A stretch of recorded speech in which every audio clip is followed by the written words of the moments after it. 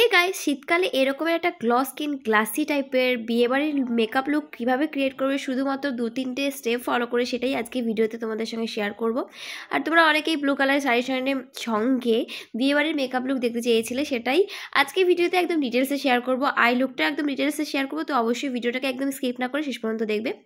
সবচেয়ে প্রথমে যেটা ইম্পর্টেন্ট স্টেপ সেটা হলো স্কিনটাকে খুব ভালো করে প্রিপেয়ার করে নেওয়া।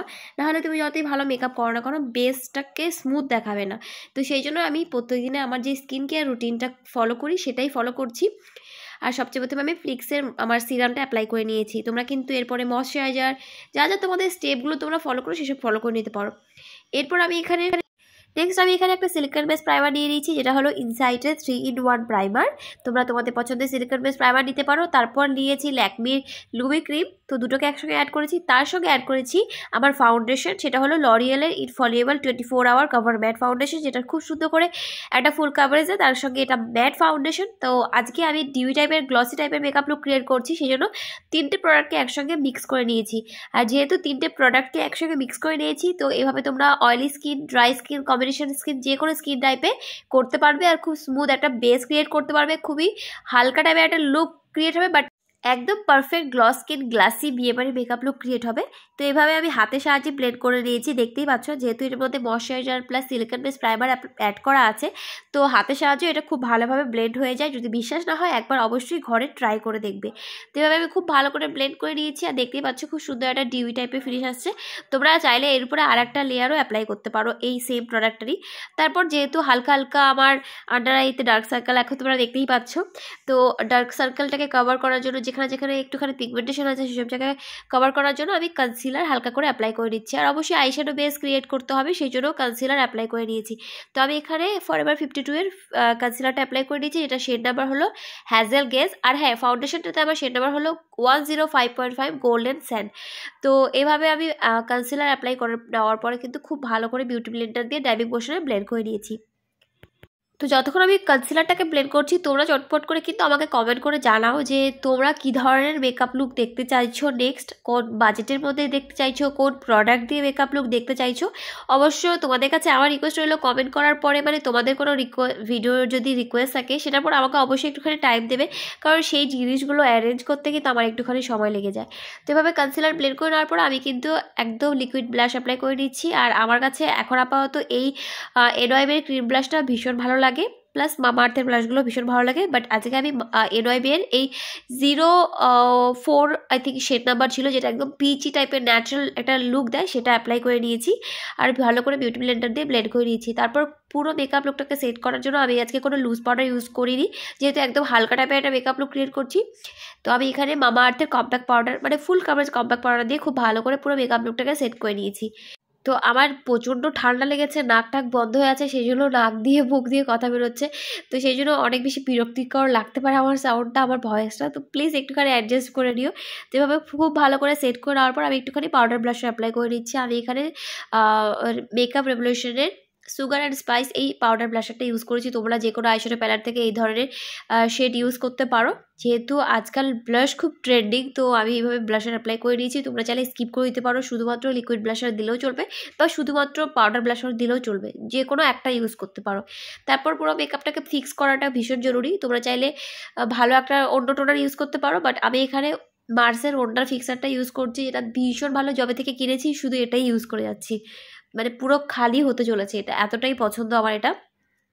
তো এটা করে নেওয়ার পর আমি হালকা করে আমার আইব্রোটাকে ড্র করে নিচ্ছি আর আমি এখানে সুগারের ব্রো ট্যাটু যে ট্যাটু পেনটা আছে সেটাকে ইউজ করছি। আর যেহেতু আমার সব ভিডিওতেই প্রায় আমি আমার আইব্রোটাকে ড্র করা বা সেট করা দেখাই, আজকে সেই জন্য খুব একটা ডিটেলসে দেখালাম না। যদি কেউ দেখতে চাও অবশ্যই আমাকে জানাবে।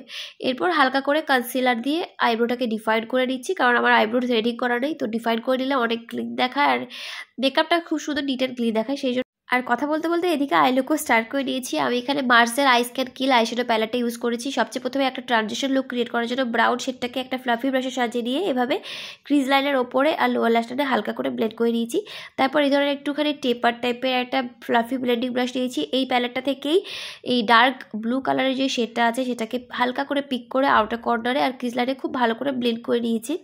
সরি ব্লেড করে নিয়েছি। আর তোমাদের কাছে যদি এই আইশ্যাডো প্যালেটটা না থাকে, অন্য যে কোনো আইশ্যাডো প্যালেট দিয়ে সেম কালারগুলো ইউজ করে এই ধরনের একটা আইলু ক্রিয়েট করতে পারবে। এমন কথা নেই যে যেই আইশ্যাডো প্যালেটটা আমি ইউজ করছি, সেটাই তোমাদের ইউজ করতে হবে।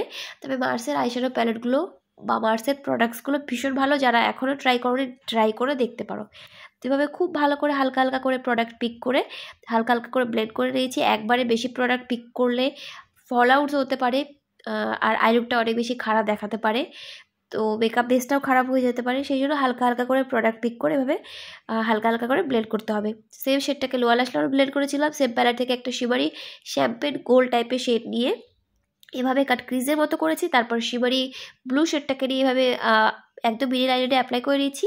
তারপর পিগমেন্ট প্লের এই গ্লিটার প্যালারটা ইউজ করেছি। এটা ভীষণ ভালো বাট এটা হাত দিয়ে বেশি ভালোভাবে অ্যাপ্লাই হয়। তো হাতের সাহায্যে এই ব্লু শেডটাকে নিয়ে এভাবে অ্যাপ্লাই করে নিয়েছি। তারপর ওয়াটার লাইনে আর আপার ওয়াটার লাইনে সুগার পপের কাজলটা একটুখানি মোটা করে অ্যাপ্লাই করে নিয়েছি।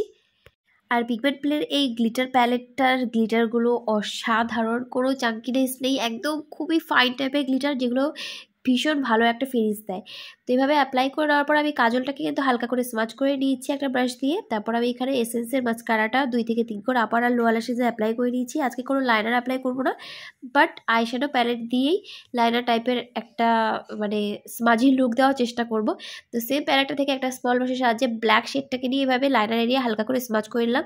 যেহেতু ল্যাশেস অ্যাপ্লাই করব, তো লাইনার একদম অ্যাপ্লাই না করলে বা কোনো ব্ল্যাক শেড অ্যাপ্লাই না করলে ল্যাশেস এরিয়াতে ফেক ল্যাশেসগুলো ন্যাচারাল ল্যাশের সঙ্গে মিক্স হতে চায় না মানে একদম ন্যাচারাল দেখায় না। সেই জন্য এইভাবে করে নেওয়া।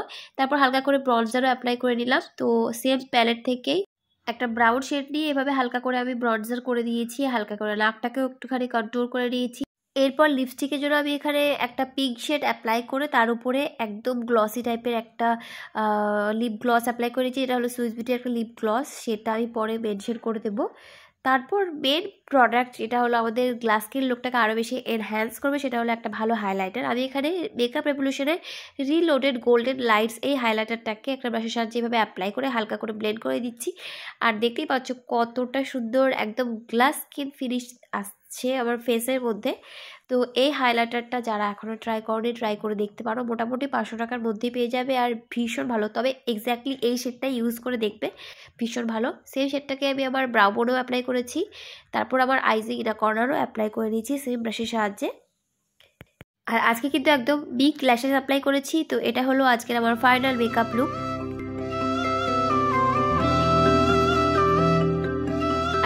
তোমাদের ভালো লেগেছে, যদি ভালো লেগেছে, ভিডিওটাকে বেশি করে লাইক আর শেয়ার করে দিও। দেখা হবে নেক্সট ভিডিওতে ততক্ষণ সময় খুব ভালো থেকো, খুব সুস্থ থেকো বাই